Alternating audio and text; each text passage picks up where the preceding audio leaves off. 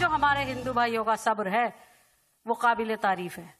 क्योंकि जब से हम अयोध्या गए हैं, हमने देखा टेंट के अंदर रामलला विराजमान है। कितनी तकलीफ़ होती है संगीनों के साय में। एक भगवान को, एक अवतार को, एक इमाम हिंद को, एक किस चीज़ में रहना पड़ रहा है? एक टेंट के अंदर। बड़े हमें मुसलमानों को डूब मर जाना चाहिए। अपनी गलत जिद के आगे जो है वो लड़ रहे हैं। और चुपचाप बैठे। शाहीन परवेज के बयान पर इस कदर हंगामा मचा कि उन्हें मंच से हटना पड़ा। राम मंदिर निर्माण के लिए मुस्लिम समाज का समर्थन जुटाने के लिए राष्ट्रीय मुस्लिम मंच ने ये आयोजन किया था। बैठक में आए मुसलमानों ने बैनर पोस्टर लेकर मार्च निकाला जिसमें लिखा था कसम खुदा की खाते हैं मंदिर वही बनाएँगे। राम जन्म स्थान अयोध्या। यह एक लाख चौबीस हज़ार जो नवी रसूल से पहले हुए हैं, उनमें से राम रूपी नवी का जन्म स्थान है। देश बहत्तर साल में ये भी लिखेगा, इस देश के मुसलमानों ने ऐसी कुछ समस्याएँ जो हिंदुस्तान के विकास में कैंसरस थी उनके समाधान में एक महत्वपूर्ण भूमिका निभाई। यूपी के राज्यसभा सांसद सुब्रमण्यम स्वामी ने तो एक कदम आगे बढ़कर यहाँ तक कह दिया कि मुसलमानों ने देश में चालीस हज़ार मंदिर तोड़े। अगर वो अयोध्या काशी और मथुरा छोड़ दें तो बाकी मंदिरों के लिए हम उन्हें माफ़ कर देंगे।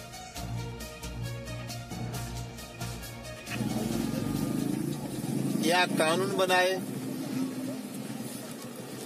या नरसिंहा राव ने जो वहाँ की ज़मीन ज़मीन अधिग्रहित करनी थी, वो राम जन्म न्यास को ज़मीन दे दी जाए।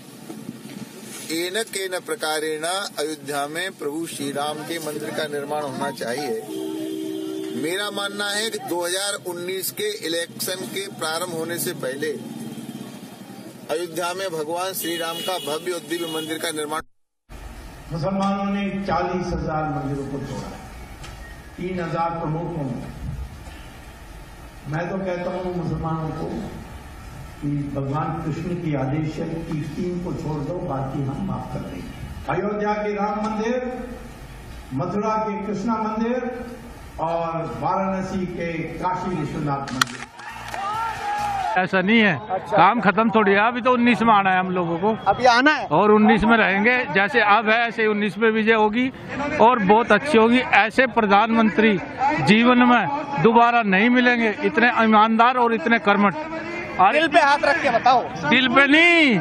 ये खुदा को हाजिर नाजिर मान के कसम कह के खा के इस बात को कह रहे हैं कि ऐसे प्रधानमंत्री पुनः दोबारा नहीं आएँगे। हम बहुत बड़ा मौका खो देंगे मुसलमानों को ये सोचना चाहिए जितनी भी योजनाएँ चल रही है। ऐसा हृदय परिवर्तन कैसे हो गया आपका?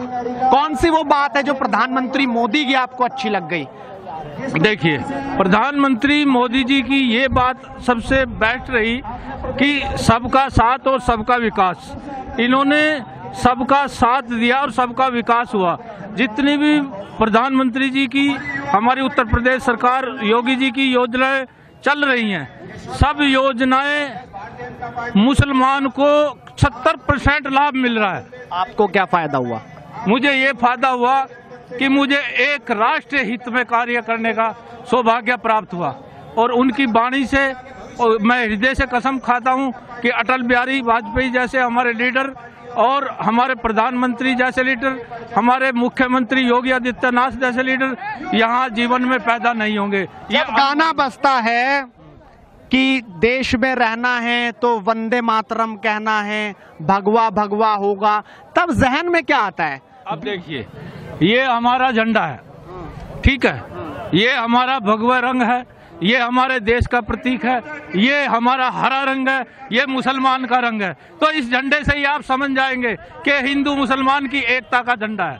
अच्छा अच्छा। नाम क्या है आपका? खुर्शीद मलिक चिश्ती। तो अब तस्वीर 2019 की है। एक तरफ़ तो राहुल गांधी हैं तमाम विपक्ष है दूसरी तरफ़ प्रधानमंत्री मोदी हैं। वो तस्वीर आपको कैसी नज़र आ रही है? क्योंकि आपने शुरुआत झंडा खोलने से की थी। तो क्या ये झंडा इसी तरह से लहरेगा 2019 में भी ये कमी आएगी? इसी तरह से नहीं लहरेगा ये 19 में भी रहेगा आगे भी रहेगा और जीवन में हमारे जीवन के साथ रहेगा। ये हमारे जीवन के साथ रहेगा। ये हमारा राष्ट्रीय तिरंगा ध्वज जो है वो हमारे सबके लिए हिंदुस्तान के लिए है हर मनुष्य के लिए है। और ये हमारा राष्ट्रीय झंडा ही है। ये बीजेपी शासन जब आया था तब ये बात हो रही थी कि भाई एक डर का माहौल मुस्लिमों में पैदा होगा क्या वाकई ऐसा था और अब क्या वो खत्म हुआ है? नहीं, ऐसा नहीं था। देखो, जैसे दूसरी पार्टी है, आप ये सोचिए कि एक व्यक्ति के पीछे 19 लोग इकट्ठे हो गए तो कहीं तो काम हो ही रहा होगा। ये तो आपको सोचना चाहिए कि एक अच्छे व्यक्ति के लिए 19 गुंडे इकट्ठे होकर और उनके निकालने के उसमें लगे हुए। तो ये तो राष्ट्रीय हित में नहीं है। ये तो भ्रष्टाचारी को मुक्त करने के लिए हमारे प्रधानमंत्री जी आए हैं। और वो प्रधानमंत्री जी भ्रष्टाचार मुक्त करके रहेंगे और होके रहेगा। और विकास जो हो रहा है, आज हिंदू, मुस्लिम, सिख, ईसाई, सब आपस का जो विकास हो रहा है, उससे बड़ा विकास हो नहीं सकता, चाहे कोई भी पार्टी आ जाए। मैं तो ये कहूँगा अपने भाइयों से मुसलमानों से सबसे कि दिल और जान से साथ दे योगी जी का मज़बूत हाथ बनाए आप और करते क्या हैं? करते क्या हैं? मैं समाज सेवा करता हूँ और स्कूल चलाता हूँ और हिंदू मुस्लिम सब बच्चे मेरे पास है। मेरा मदरसा है मदरसा जियाउल कुरान। उस मदरसे में साढ़े तीन सौ बच्चे हैं दस गाँव से बच्चे आते हैं। फिफ्टी परसेंट हिंदू जी जो हाईटेक मदरसा करने की बात कर रहे हैं लगातार चल रही है आगे। आप उससे सहमत हैं? अरे मैं तो उससे पूरा सहमत हूँ। योगी जी तो हमारे आज आए हो तो साधु है उन्हें क्या चाहिए? कमंडल उन्हें कुछ नहीं चाहिए। उन लोगों को चाहिए जो लोग उनके विरुद्ध इकट्ठे हुए हैं। ये जो उनका जो घपला बंद किया है ये सबसे बड़ी बात है।